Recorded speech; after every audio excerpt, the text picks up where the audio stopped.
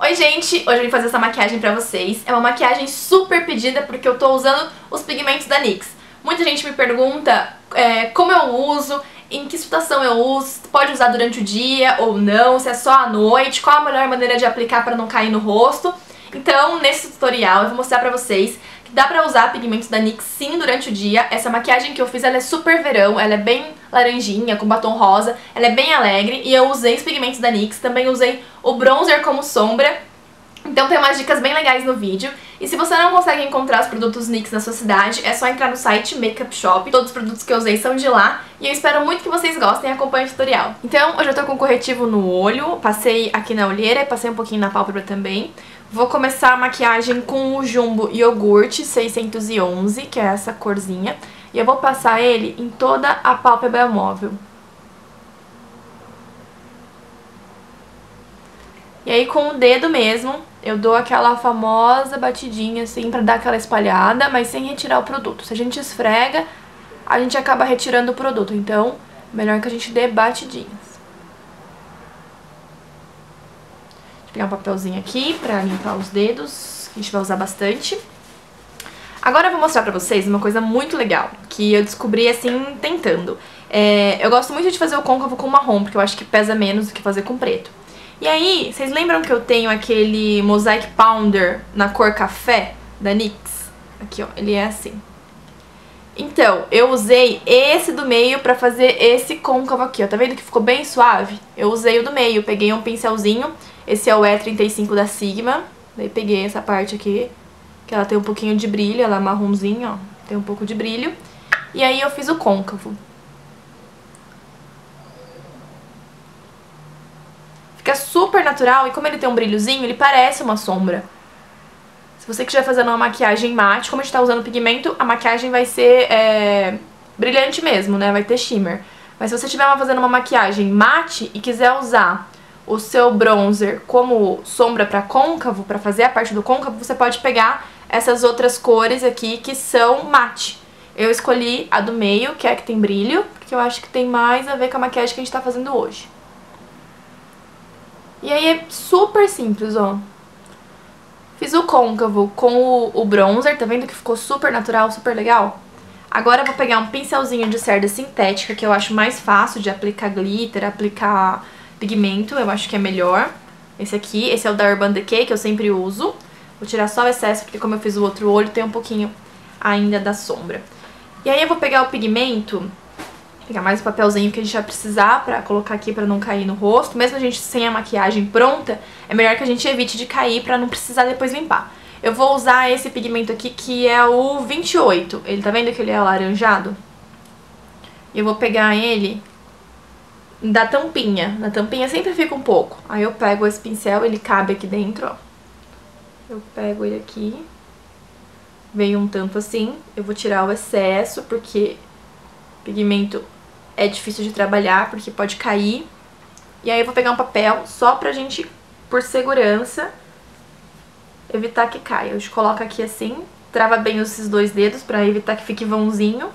E a gente aplica aqui, ó. Espero que esteja dando pra todo mundo ver, porque eu não tô conseguindo ver quase nada no espelho com esse papelzinho. Vou colocar mais pra baixo, vamos ver.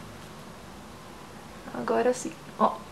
A gente vai aplicar em toda a pálpebra móvel. dando batidinha sempre, porque senão o pigmento voa. A gente vai pegar mais pouquinho. Sempre lembrando de tirar o excesso pra não pegar muito, não cair muito no rosto. E a gente deixa esse cantinho interno aqui sem, porque a gente vai aplicar um dourado. A gente aplica mais concentradamente aqui no meio e no cantinho externo. E no canto interno a gente deixa sem. E depois a gente vai aplicar uma outra cor. Então, ó, tá bem aplicado aqui, bem concentrado na pálpebra móvel. Agora a gente vai pegar aquele mesmo pincel que a gente esfumou, o côncavo, e vai esfumar isso de novo, só a borda aqui, ó. Só pro laranja misturar um pouquinho com essa sombra marrom que a gente fez, que na verdade é um bronzer, né? Que a gente fez o côncavo. Ó, pra ficar um pouquinho mais natural essa transição. Aí você pode pegar o pincel, que tá com um pouquinho de sombra, e passar por cima, assim, do marrom, ó. Pra ficar bem misturadinho aqui. E agora a gente vai pegar um pigmento dourado. Esse que eu vou usar é o 21, ele é assim. Eu também vou fazer o mesmo esquema, vou pegar ele da tampinha, ó, que sempre fica um pouquinho na tampinha. Então eu vou limpar primeiro o excesso desse laranja que tá aqui no pincel, num papelzinho mesmo. Não precisa molhar, não precisa fazer nada, é só tirar o excesso assim. E aí, da tampinha, eu pego um pouquinho, bato assim pra tirar o excesso. E aí com aquele mesmo papelzinho que a gente colocou aqui, eu vou aplicar o cantinho aqui,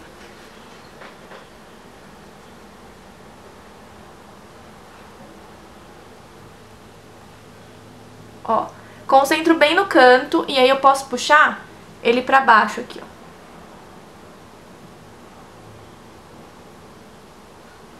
Tá vendo? Vou até reforçar um pouquinho aqui, porque depois eu esfumo e ele some um pouco, mas fica bem bonito, ó.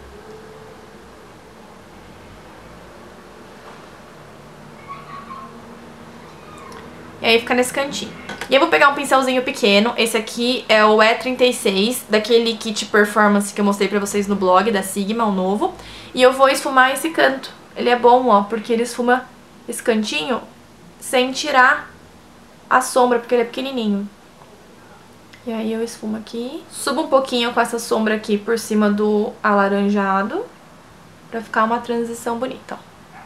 E aí, se cair um pouquinho aqui, onde não era pra cair, a gente tira com cotonete, depois a gente arruma e tudo bem. Com um pincelzinho de cerdas achatadas, assim, esse é o E15 da Sigma. Eu vou pegar aquele, aquela mesma sombra que a gente usou, é, marronzinha aqui, e eu vou delinear a parte de baixo dos cílios, é, os cílios inferiores.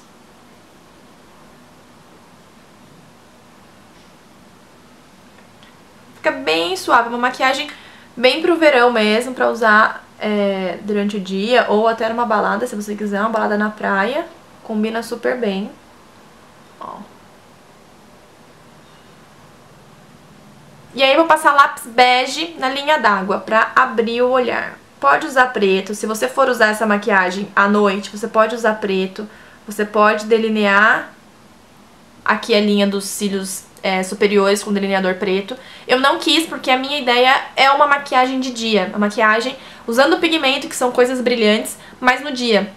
É uma opção pra vocês usarem. Então eu não quis pesar na maquiagem, mas se você quiser usar maqui essa maquiagem à noite, você pode passar lápis preto na linha d'água, delinear com, com um delineador preto aqui, pode fazer um cantinho mais preto com aquele lápis preto que a gente faz aquela, aquele truquezinho, pode fazer também. Mas a minha ideia é mostrar pra vocês que dá pra usar pigmento, que é uma coisa super brilhante, durante o dia. E aí, pra finalizar o olho, eu vou usar a máscara Doll Eye, da NYX, que eu sou apaixonada por dar esse efeito maravilhoso de olho de Emília. Eu acho lindo, tem gente que não gosta muito, mas eu acho particularmente que é o efeito mais bonito do rímel, que deixa bem separadinho e bem longo, assim, eu acho lindo. E esse rímel vocês vão ver que com uma aplicação ele já deixa assim, você não precisa ficar passando muitas vezes. E logo na primeira vez que eu testei esse rímel, ele deixou esse efeito.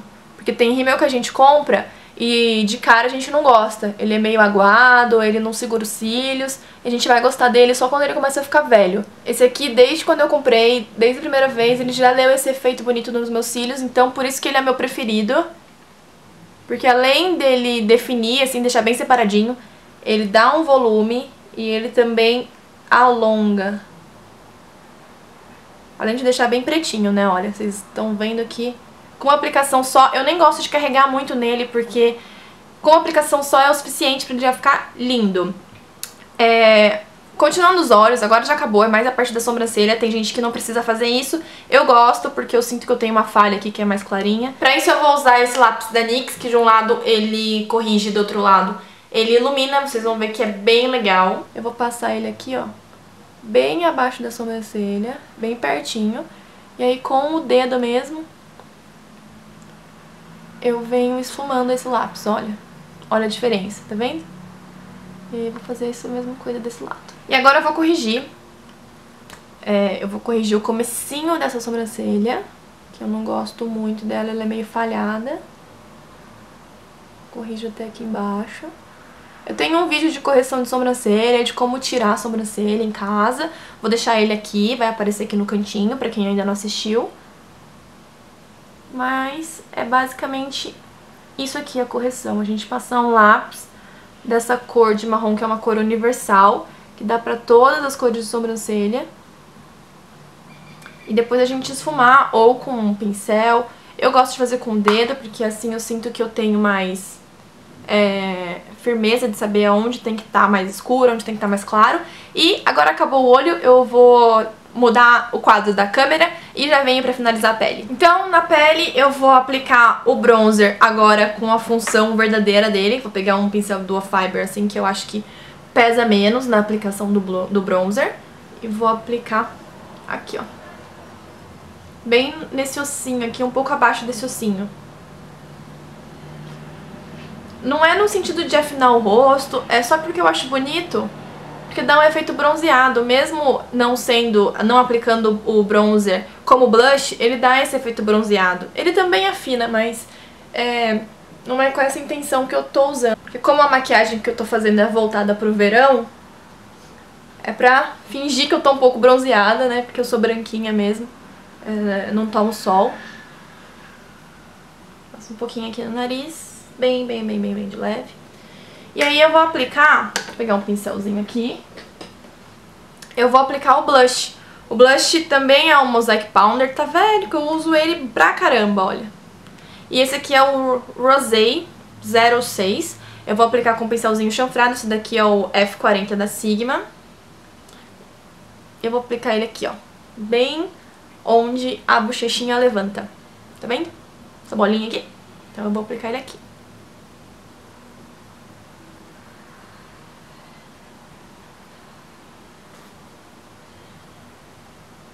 Passa um pouquinho no nariz. Eu gosto de passar no nariz. Acho que fica harmonioso, sabe? Você com a bochecha rosadinha, o nariz levemente rosadinho. Mas assim, eu não pego mais produto pra passar no nariz. Eu passo no nariz o que sobrou aqui no pincel, tá? Pra não ficar muito, muito vermelhinho.